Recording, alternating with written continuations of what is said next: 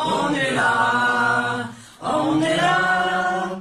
Même si Macron ne veut pas, nous on est là. Pour l'honneur des travailleurs et pour un monde meilleur. Même si Macron ne veut pas, nous on est là. Deux mois se sont écoulés depuis notre dernier enregistrement radio, fréquence 7, parole de Gilets jaunes. Et il nous semble important de vous faire savoir et partager nos actions, réalisations et contributions qui ont eu lieu durant toute cette période. Bonjour Christiane. Oui, bonjour Alors, euh, Michel. émission Gilets jaunes, enfin là c'est un peu particulier, c'est cet été. Euh, dans l'été, on a décidé de faire une émission. Hmm. On voulait parler déjà de Genève. Ouais. Alors, qu'est-ce que tu peux nous en dire? Eh ben, il y a l'acte 42, donc qui aura lieu le 31 août. C'est une action qui est commune entre les Gilets jaunes français et les Gilets jaunes en Europe en général, donc entre autres aussi les Gilets jaunes en Suisse. Et ils ont donc organisé un nouveau euh, passage euh, à Genève à l'ONU pour euh, soutenir euh, une personne qui fait une grève de la faim euh, devant euh, l'ONU euh, à Genève, qui a fait une marche déjà de Marseille à Paris et une marche de Paris jusqu'à Genève pour justement dénoncer toutes les violences policières qui ont eu lieu pendant ces neuf mois de lutte des Gilets jaunes et qui ont quand même euh, gravement atteint euh, la santé de beaucoup de personnes. Et euh, à cette occasion, donc, il y aura une chaîne humaine le 31 août. Et euh, il y aura des blocages par contre à la frontière à Bardonex. Donc tous ceux qui veulent éventuellement se joindre à cet acte doivent plutôt se diriger vers Bellegarde ou passer, au pays de Gex à Saint-Génie-Pouilly. Et on peut y aller encore en voiture individuelle si on veut. Et euh, ça sera aux alentours de midi que tout ça va commencer. Parce que euh, l'ONU a déjà dénoncé en fait ce qui s'est passé en France. Oui, mais il n'y a pas là, tous les dossiers. fois. Oui, bah oui, parce que tous les dossiers sont pas forcément. euh, il faut aussi dire qu'il y a une plainte au CPI également, donc il y aura Au- sûrement au- aussi une action tribunal, avec de la haie, ouais. de la Haye, Ouais, ouais. hein. Mais euh, là, c'est vraiment une action pour redire encore une fois attention, les violences policières en France, ça suffit. Et euh, aussi euh, l'utilisation des gaz lacrymogènes en France, ça suffit. Dans la manière dont ça se passe tous les week-ends, tous les week-ends, tous les week-ends, et que on respecte pas euh, la Convention de Genève parce que ce sont, même s'il y a interdiction en cas de guerre d'utiliser les gaz lacrymogènes, il y a quand même pas non plus une comment dire, le droit de les utiliser dans les émeutes de façon aussi répétée, on peut supposer que c'est quand même dangereux à répétition, à répétition, à répétition. Donc, euh, mais euh, bon, l'action de Genève, c'est surtout toutes les mauvaises actions des LBD. Il va avoir mon confrère euh, Laurent Tinès qui va aussi être là. Et euh, on le soutient. donc ton confrère, c'est-à-dire c'est- Il est neurochirurgien. Oui, c'est un gilet jaune ou un médecin, on va dire, euh, qui a soigné beaucoup de gilets jaunes et Parce qui tu- dénonce également euh, l'usage des LBD euh, dans la manière dont ça s'est passé en France. Parce que ce que tu disais à répétition, c'est par rapport au gaz euh, lacrymogène, Non, non, la répétition du gaz lacrymogène, mais euh, Laurent Tinès, lui, il a, il a soigné des gens, il a sauvé euh, des personnes euh, au niveau de leur santé euh, par rapport au LBD.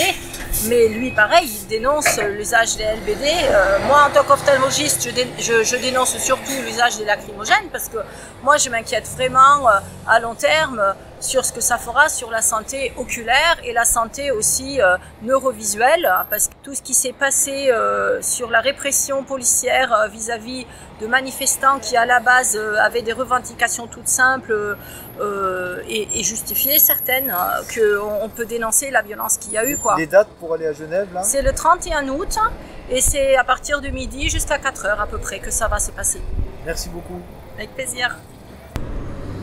Alors aujourd'hui, nous avons aussi Christian qui voudrait nous parler d'un sujet de société pour une société plus juste. En fait, si j'ai bien compris de quoi tu parles. Tout à fait. Donc, euh, ce qui est euh, vraiment important, c'est un revenu euh, décent pour tout le monde. Quand on entend qu'il y a des euh, retraites à 400 euros ou à 800 euros et que la vie augmente régulièrement, les loyers, euh, la suppression des APL, il y a la possibilité de créer un revenu, une allocation universelle qui pourrait être euh, euh, la solution, la solution euh, d'un bien-être social. Est-ce que toi, Christian, tu accepterais d'être invité dans une émission de Solidaire d'abord qu'on va faire aux alentours du 20 septembre pour parler un petit peu mieux techniquement de ce sujet? Avec plaisir parce que je pourrais approfondir ce que j'en pense concernant cette évolution sociale dans la société. Il y a trois sujets. Il y a l'allocation universelle que je voudrais faire. Il y a les moyens de financement et les, les moyens d'acquisition de ce revenu universel. Super, merci beaucoup. Euh, et n'oubliez pas qu'on a euh, les Gilets jaunes d'Aubenas ont été faire une action euh, en Italie, à Brescia, au festival de, radio libre. Trois Gilets jaunes, Gilets jaunes d'Aubenas et Priva. Il y avait une grosse participation Oui, le, festival était. C'est tout le mois d'août à Brescia et. et des Gilets jaunes de toutes les régions du monde, d'Europe, disons ah non, on était, il y avait que nous parce que certains contacts italiens connaissaient des contacts sur Aubenas et ils nous ont proposé de, venir euh, et d'intervenir au festival ah, pour, euh, pour expliquer le mouvement et en fait on s'est vite rendu compte que que ben ils n'étaient pas au courant de ce qui se passait en France, ils n'étaient pas au courant du mouvement, ils avaient de très mauvaises informations et on a dû reprendre les fondamentaux du mouvement euh, à la base quoi, de, de septembre 2018 jusqu'au début du mouvement parce qu'ils étaient vraiment au courant de rien, ils savaient pas du tout d'où ça se lançait, pourquoi, les revendications. Et, on a. qu'est-ce qu'il en est ressorti euh, Ils ont compris un peu votre intervention après? Oui, oui, oui. Après, euh, il y avait des. Il y avait des... un Italien qui habite du côté de Senlis, je crois, euh, mais lui qui était plus axé sur les âgés, et du coup qui a beaucoup, beaucoup parlé des âgés. Donc nous, Gilets jaunes d'Aubenas Priva, on s'est pas trop senti concernés parce que les, les âgés c'était trop, trop loin pour nous. Ça, c'était pas, on se sentait pas vraiment concerné, mais euh, du coup, les Italiens ont un peu plus compris le mouvement. Hmm. Il y avait beaucoup de monde? Oui, oui, oui, on a fait la on a, euh, Il y avait euh, une bonne centaine de personnes à la, à la, présentation, parce que du coup, on a fait une courte présentation du film Je veux du soleil, donc qui n'était pas encore traduit en italien, donc du coup, il a fallu couper chaque morceau. Ça a été compliqué, ça.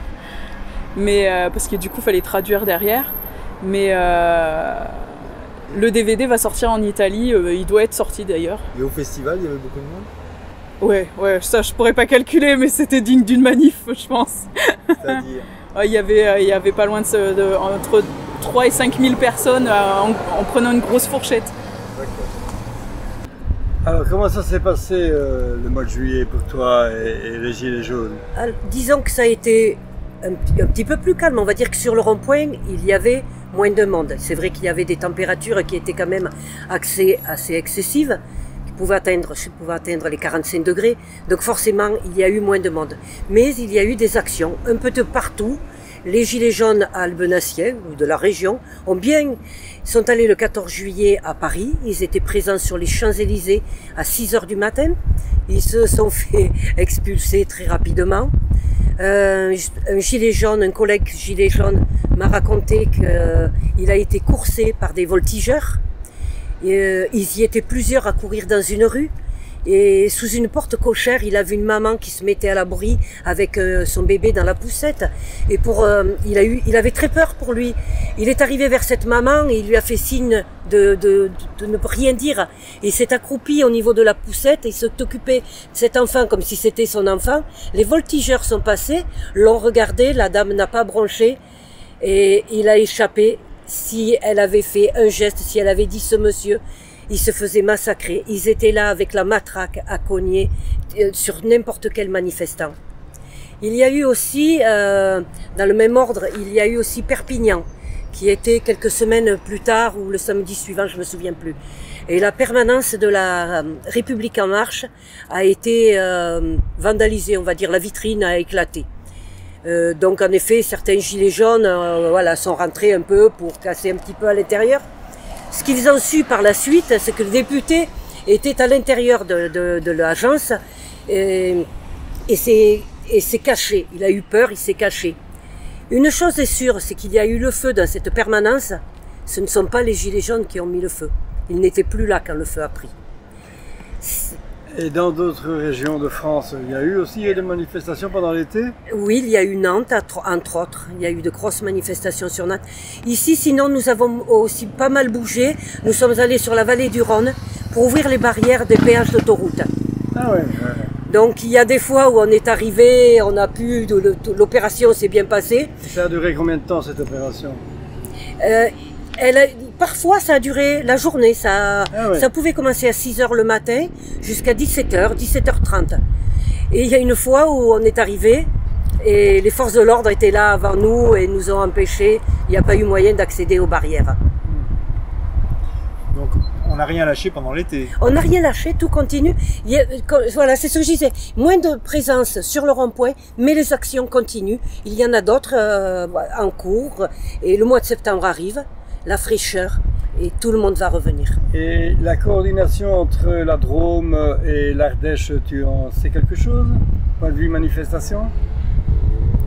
On se retrouve, euh, il y a une coordination, puisqu'on se retrouve ensemble à Malataverne, entre autres, sur d'autres péages d'autoroute, euh, à Chanas. Euh, On est, euh, voilà, on est ensemble, on discute, euh, pas, pas par les réseaux sociaux, c'est tout par petits messages, mais euh, oui, il y a une... et, et tu as observé qu'il y avait aussi euh, des, des gilets jaunes d'autres régions de France qui sont venus dire bonjour ici à Millet On en a eu régulièrement. On a même un monsieur un jour qui a sorti son, accordé- son accordéon, qui est venu faire un peu de musique. Et, nous-mêmes, Ardéchois, quand nous partons en vacances, n'importe où, nous nous arrêtons. J'étais dans le Cantal et je suis allée voir mes amis d'Aurillac et j'ai passé une paire de soirées avec eux à préparer des banderoles des, voilà, pour le festival des arts des rues d'Aurillac. Oui, tout à fait. Oui, En ce moment, il y a un séminaire Oui, d'Ivry pendant une semaine, ici, Oui. en Ardèche, Oui. des Gilets jaunes qui viennent à la fois profiter du bonheur, des promenades et des réflexions, puisqu'ils ils sont là avec un atelier de réflexion sur plusieurs sujets Gilets jaunes. et si tu veux bien rappeler le lieu, ils viennent d'Ivry et ils... Saint- à Saint-Joseph-des-Bains. Saint-Joseph. Voilà. Ah, c'est dans la montagne ici Oui, derrière. oui, ils sont là pour une semaine. Euh, Vers Entraigues. Oui. On est là, on est là, même si Macron ne veut pas, nous on est là. Pour l'honneur des travailleurs et pour un monde meilleur, même si Macron ne veut pas, nous on est là.